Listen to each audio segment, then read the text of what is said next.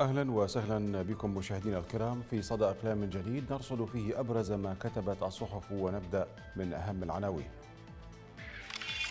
على العربي الجديد سقوط صاروخ كاتيوشا بالقرب من مبنى السفارة الأمريكية في بغداد. على المدى قتل امرأتين بالرصاص وسط بغداد والقاتل يبدو مطمئنا. عربي 21 برلمان العراق يرفض خطة حكومية لخفض رواتب موظفي الدولة. على القدس نتنياهو لن نتخلى عن غرب نهر الأردن في أي تسوية. في الشرق الأوسط 413 ألف وفاة بكورونا في العالم. على صحيفة العرب الحوثيون يحاربون لأخبار انتشار كورونا بدلا من محاربة الوباء. الدستور الأردني تغريم الرئيس الأوكراني وحاشيته على خرق قيود كورونا.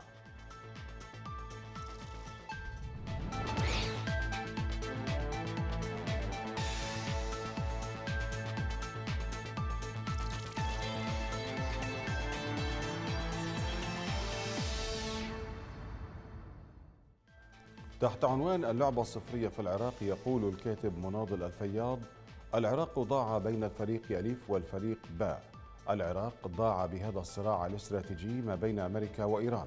لطالما كانت تسجل أهداف لإيران على حساب أمريكا والعكس صحيح.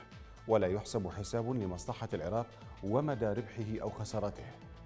مدى ربحه وخسارته هذه المباراة جريمة بحق العراق والعراقيين استغلها تجار الحروب والمرابون والفاسدون. هذه المباراة الصفرية لا تخدم العراق ولا تخدم إيران وأمريكا أيضا لأنهما يستمران بمتاهة لا أول لها ولا آخر. نطالع. في المجتمعات السياسية التي تستند على منظومة الحقوق والحريات تكون الاحتجاجات والتظاهرات فرصة لتقييم النظام الديمقراطي القائم وبالتالي تعمل على تصحيحه. هذه المفاهيم في مجتمعنا العراقي غير موجودة إذ إن النظام السياسي في العراق يجعل التظاهرات والاحتجاجات موضع الند له ويعمل على قمعها وهذا ناتج عن مفاهيم مغلوطة بالحكم الذي يسمي نفسه جزافا حكما ديمقراطيا. وهذا يعني أن النظام القائم نظاما تعسفيا إذ إن القمع والعنف والاغتيال هي السمة السائدة وهذا لا ينسجم مع الروح الديمقراطية. لذلك نحن نعيش بفوضى عارمة تجعل الاستقرار الأمني من المستحيلات في ظل هذه الفوضى. يأتي هذا الحوار الاستراتيجي بين العراق والولايات المتحدة الأمريكية. هذا الحوار هو إحياء لاتفاقية الإطار الاستراتيجي التي تم الاتفاق عليها في عام 2008 وهي اتفاقية شاملة عسكرية وأمنية وثقافية وتعليمية وصحية وصناعية وزراعية. إلا أنها وضعت على الرفوف وتراكمت عليها سياسات منفلتة وولاءات متعددة ما أدى لإهمالها وعدم العمل بها. قبل أن نتطرق للحوار الاستراتيجي علينا أن نتطرق للصراع الاستراتيجي ما بين الولايات المتحدة الأمريكية وجمهورية إيران الإسلامية الذي جعل العراق ساحة صراع لنزواتهما مما أنهك العراق وبدد ثرواته وقسم المجتمع إلى فرق مذهبية وقومية وعلينا ألا ننسى أن هذا الصراع فتح شهية دول إقليمية مثل تركيا وبعض دول الخليج لذلك.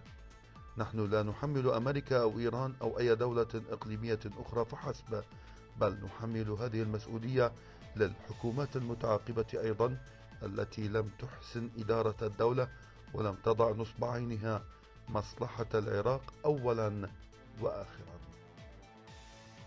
ويضيف الفياض الحل يكمن بأن يكون العراق اللاعب الأول والأخير في ساحته وهو من يسجل الأهداف لصالح مواطنيه. لذلك انتهاج اللعبة اللا صفرية هي من تخدم العراق لأن الغالب فيها هو العراق ولا غالب ولا مغلوب للأطراف اللاعبة. كيف يتم ذلك؟ السيادة والإرادة السياسية ذات الهوية الوطنية هما بداية شروع اللعبة اللاصفرية وأن يكون العراق ركيزة للأمن والسلام. بدون استقرار العراق لن يتحقق السلام في المنطقة.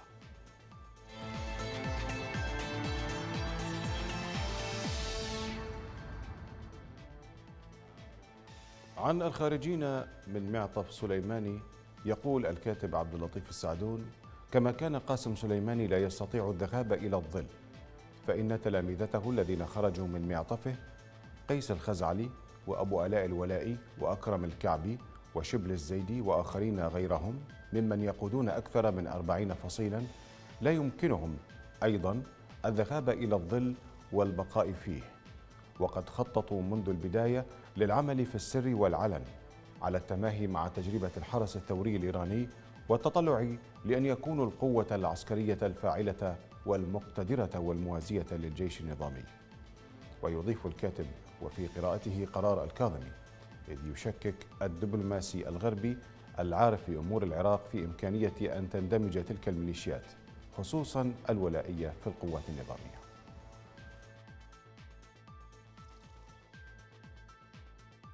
ماذا يعني قرار رئيس الحكومة العراقية مصطفى الكاظمي فك ارتباط ميليشيات الحشد الشعبي بالقوى والأحزاب السياسية وإلحاقها بالقوات المسلحة النظامية. وإلى أي مدى يمكن اعتبار القرار حلا لمشكلة كبيرة استعصت على الحل؟ وهل سيقبل القرار قادة الميليشيات الولائية الخاضعة للحرس الثوري الإيراني والتي استشرت في سلطتها حتى شكلت دولة عميقة تقرر وتعتقل وتسجن وتحكم وتنفذ حتى أحكام إعدام من دون أن يجرؤ القضاء أو رجال الحكومة الكبار على مواجهتها أو ردعها. يقول دبلوماسي غربي عمل في العراق سنوات قبل الاحتلال وبعده. واختبر الواقع السياسي والاجتماعي فيه. إن ظاهرة توغل الميليشيات في العراق أكثر تعقيدا مما يتصوره بعضهم أو يراه الكاظمي. فأغلب قيادات تلك الميليشيات خرجت من معطف قاسم سليماني رجل إيران القوي الذي اغتاله الأمريكيون وتربت في أحضان الحرس الثوري الإيراني وبعضها تدرب في قم وطهران واكتسب مهارات القتل والقنص والعمل الاستخباري. ومعظم هذه القيادات إن لم نقل كلها تدين بالولاء والطاعة لإيران. وهي تعتبر أصلا مرجعها المذهبي هو خامنئي ومن قبله الخميني وهذه العلاقة تفرض عليه الاستجابة لتوجيهاته وتعليمه وليس لها الحق في مناقشتها. أضف إلى ذلك أن بعضها كان ضليعا في واقع اغتيال وتفجير ضد شخصيات وأهداف عراقية وعربية زمن النظام السابق. ويضيف الكاتب أن الميليشيات باندماجها بالقوات النظامية يمكن أن تشكل جزءا حيويا لأسباب كثيرة من بينها أن معظم أفرادها يحمل في أعماقه هوى إيرانيا وقد يتحول إلى ما يشبه مسمار جحا. يمكن أن توظفه طهران في خدمة مآربها متى شاءت إذ يصبح في إمكانه أن يقدم لها خدمة لوجستية عند الضرورة.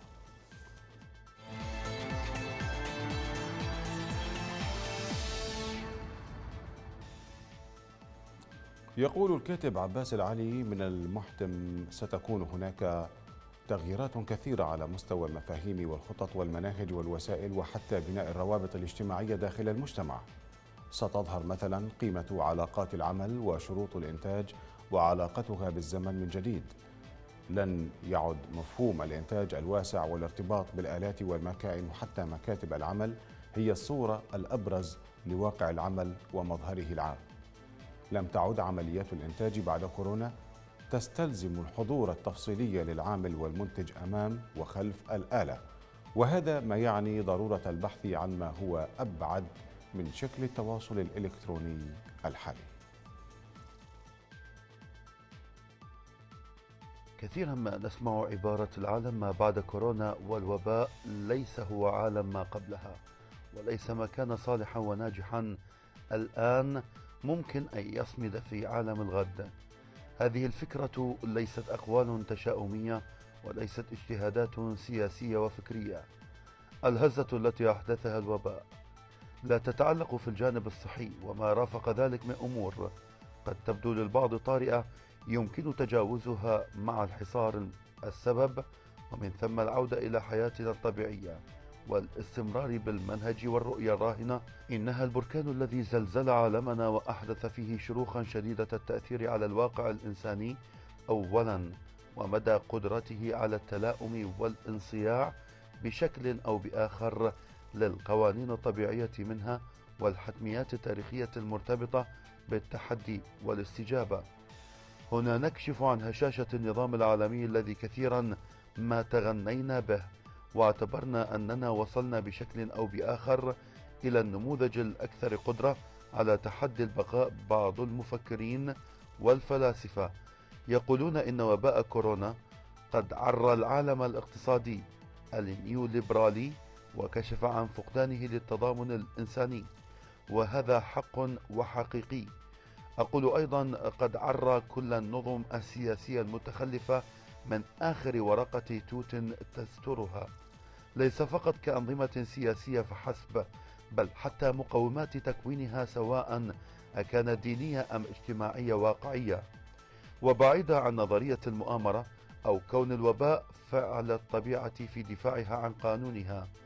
أجد أن الرابح الأخير سيكون الإنسان مستقبلا برغم فداحة الثمن الذي قدمه أو سيقدمه.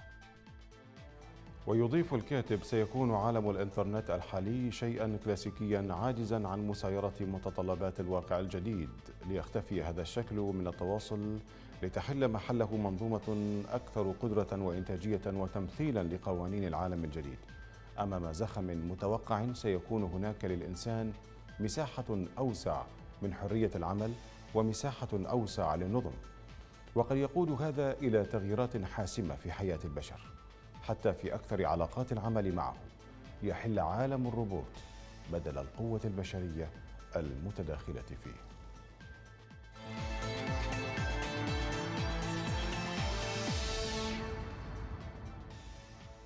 يقول الكاتب محمد كريشان مجتمع دولي متواطئ لم يكن إلا حازما ولا واضحا. لم يكن لا حازما ولا واضحا.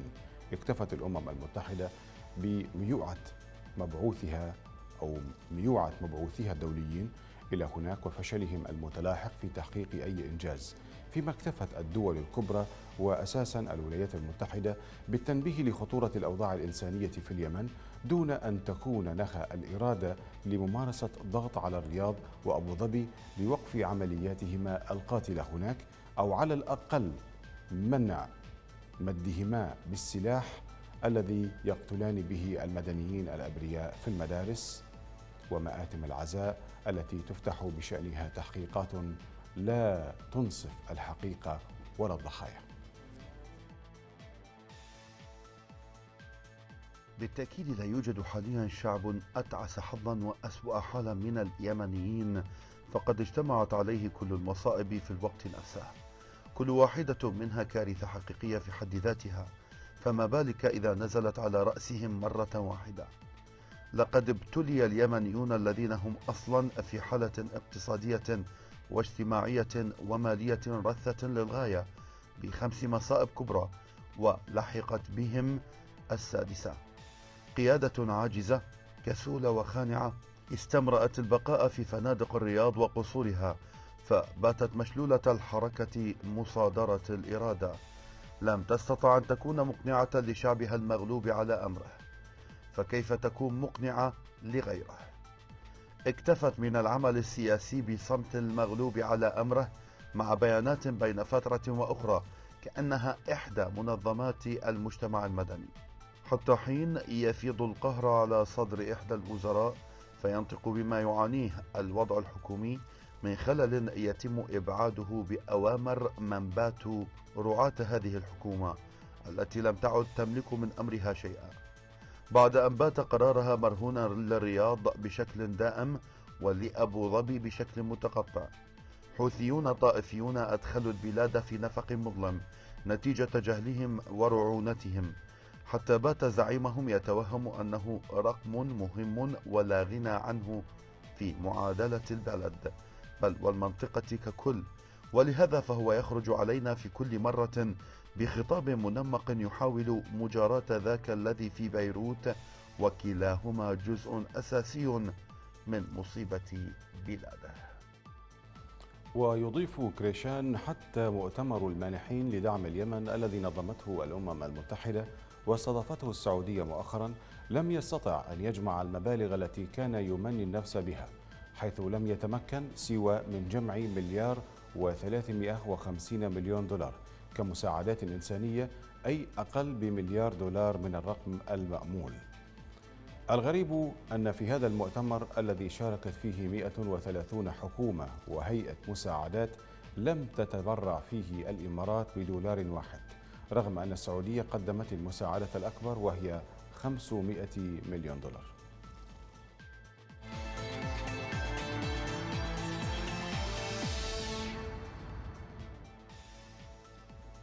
بعنوان لحظة التغيير الأمريكية يقول الكاتب شفيق ناظم الغبرة قد بدأت خطط الإصلاح في عدد من الولايات وذلك في ظل الانتفاضة الراهنة. فبعض الولايات خفف من ميزانيات البوليس وقام بتحويل أموالها لصناديق تعنى بالأقليات ومناطق الملونين. كما أن ولاية نيويورك بدأت بإصلاحات قانونية تجاه الأقليات والمناطق المحرومة وتجاه البوليس وحدود صلاحياته كما أن حاكم ولاية نيويورك يناقش أهمية بناء مساكن لذوي الدخل المحدود بحيث يمكن شراؤها بأسعار معتدلة. نتابع. لم تتوقف الاحتجاجات في طول وعرض الولايات المتحدة منذ مقتل جورج فلويد على يد الشرطة. فعلى مدى أسبوعين استمرت الانتفاضات التي فاضت بها الشوارع والمدن الأمريكية. لقد خرجت كبرى المظاهرات السبت والأحد الماضيين. ففي واشنطن العاصمة امتلأت المدينة بالمتظاهرين الذين وصلوا لمئتي ألف. لقد تجاوز الحراك الأمريكي العلاقات بين الملون والأبيض نتيجة نمو سريع في زخم وقوة الحركة الشعبية التي نجحت حتى الآن في بناء تحالفات جوهرها العداء للعنصرية والمطالبة بإصلاحات سياسية وقضائية واقتصادية شاملة. إن المشكلة الأمريكية الراهنة هي نتاج تناقضات هائلة. فعلى سبيل المثال سنجد أن كبار أصحاب رؤوس الأموال الأمريكيين حققوا عبر أسواق البورصة الأمريكية أرباحا وصلت إلى 500 مليار دولار في الشهور القليلة الماضية في فترة كورونا. وقد تم ذلك في وقت فقد أكثر من 40 مليون أمريكي وظائفهم. إن اقتصاد وول ستريت واقتصاد البورصة الأمريكية. لم يعد انعكاسا أمينا للواقع الاقتصادي التشغيلي الأمريكي. لقد ارتكب ترامب أخطاء كبرى منذ مقتل جورج فلويد على يد الشرطة فدعوته للسيطرة على الشارع بالقوة واتهامه لحكام الولايات بالضعف أغضبت الكثيرين. لكن قيامه بالسير نحو الكنيسة قرب البيت الأبيض بعد إبعاد المتظاهرين بالغاز المسيل للدموع والهراوات. أساء إليه أمام الأمريكيين. ويضيف الغبرة بعض المدن بدأت بإصلاحات لمؤسسة القضاء كما أن مدينة مينيابوليس ألغت الكثير من عقودها مع بوليس مينيابوليس. فبموجب تلك العقود يؤمن البوليس الحماية لجامعات ومدارس وغيرها. وقد تراجعت مكانة ترامب في الشهور القليلة الماضية في جميع الاستطلاعات. وتراجعت أيضا فرصه الانتخابية بنفس الوقت. لقد تقدم جو بايدن استراتيجيا في استطلاعات الرأي لكن تقدم بايدن سيتعزز إن اختار شخصية نسائية سوداء وإصلاحية قريبة من مناطق حراك الشارع كنائبة له في حملته الانتخابية.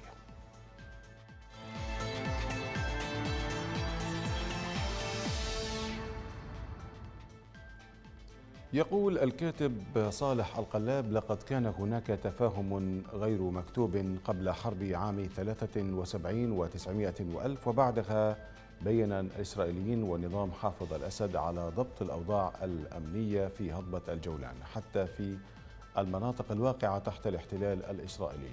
ولهذا فإن هذه الهضبة التي غادرها كل سكانها باستثناء سكان بعض القرى الدرزية بقيت صامتة صمت أهل القبور على مدى كل هذه السنوات الطويلة. والمشكلة هنا هي أن كل هذا الصمت السوري قد شجع إسرائيل على ضم الجولان كله على غرار ما فعلوه في القدس مؤخرا. نتابع. مع أن أول عملية فدائية فلسطينية قادها الرئيس الفلسطيني الراحل ياسر عرفات أبو عمار في الفاتح عام 65 و900 وألف. واستهدفت سد عيلبون بالقرب من مدينة طبرية وبحيرتها وأيضا بالقرب من مدينة الناصرة وقد جرى تسللا من خلال هضبة الجولان السورية المطلة على الشمال الفلسطيني فإن هذه العملية المبكرة كانت الأولى والأخيرة التي تمت عبر هذه الهضبة إذ إن القرار السوري قبل حرب عام 67 و900 وألف. وبعدها كان منع أي عمل فدائي عبر هذه المنطقة بحجة عدم استدراج سوريا إلى حرب قبل أوانها. حتى التنظيم الذي أنشأه حزب البعث الحاكم لمنافسة حركة فتح وهو طلائع حرب التحرير الشعبية قوات الصاعقة. رفض القيام بأي عملية عبر الجولان الذي احتله الإسرائيليون في هذه الحرب. حيث كانت وحدات الجيش العربي السوري قد انسحبت منه انسحابا كيفيا أمام تقدم جيش العدو الصهيوني بحجة حماية دمشق التي كانت إسرائيل تستهدفها وتريد احتلالها. كان عبد الحليم خدام محافظا للقنيطرة في تلك الفترة وكان حافظ الأسد قد أصبح هو ومن معه القوى المتنفذة في سوريا وكان حزب البعث قد أصبح عاجزا عجزا كاملا وكان قد شكل قوة من الطلبة العرب ونشرها فوق صخور جبل قاسيون الغربية بتسليح بنادق تشيكية لم تطلق من أي منها إلا طلقة واحدة أصابت أحد الضباط المتطوعين. المقصود بهذه المقدمة المقتضبة هو أن هضبة الجولان التي احتلها الإسرائيليون عام 67 و900 وألف. قد بقيت صامتة صمت أهل القبور وأن الحج السابق واللاحق هي الدفاع عن دمشق. ويضيف الكاتب وما يهددون بفعله في الضفة الغربية وفي أغوار الأردن وحقيقة هذا قد يشجع دولة العدو الصهيوني وهو سيشجعها إذا بقيت الأمور تسير في الاتجاه الذي تسير فيه الآن. سيشجعها على التمدد نحو الشرق الأوسط والوصول أو التمدد نحو الشرق والوصول إلى درعا وإلى السويداء المتخمتين للحدود الأردنية والقريبتين من الحدود العراقية.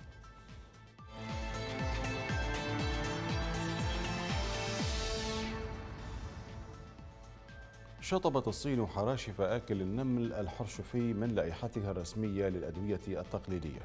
وفق ما أوردته وسائل إعلام المحلية الثلاثة بعد أيام من زيادة الحماية القانونية لهذا الحيوان المهدد بالانقراض. وأفادت صحيفة هيل تايمز التابعة للدولة أن حراشف آكل النمل الحرشفي بقيت خارج لائحة الأدوية الصينية الرسمية لهذا العام. إلى جانب مواد أخرى من بينها أدوية مصنوعة من براز الخفافيش ويعتقد بعض العلماء أن آكل النمل الحرشفية وهو أكثر الثدييات التي تتم التجارة بها في العالم هو المضيف المحتمل لفيروس كورونا الجديد الذي ظهر في سوق في مدينة ووهان الصينية. العام الماضي وتباع حراشفه بأسعار مرتفعة في السوق السوداء. إذ يتم استخدامها بشكل شائع في الطب الصيني التقليدي رغم أن العلماء يقولون إنه ليست لديها قيمة علاجية وقد منحت هيئة الغابات الصينية الجمعة آكل النمل الحشفي أعلى مستوى من الحماية في البلاد بسبب وضعه المهدد بالانقراض. وحظرت الصين في الأشهر الأخيرة بيع هذه الحيوانات البرية لأهداف غذائية مشيرة إلى خطر انتقال الأمراض إلى البشر. إلا أن التجارة بها لا تزال قانونية لأغراض أخرى بما فيها البحوث والطب التقليدي.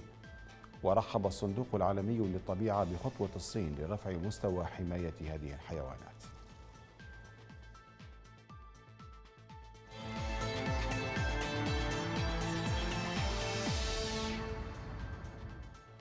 إلى الوجه الآخر لحرية التعبير نشاهد الرسوم الكاريكاتورية.